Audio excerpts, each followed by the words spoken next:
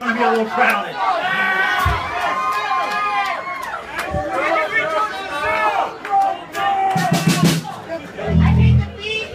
I just want to reiterate, when I was in third grade, I had a teacher tell me I'd never amount to anything, and she's buried right over there. and she always said to me, she always said, one day I'll dance on your grave, and I'm like, fine with me, bitch, I'm being buried at sea.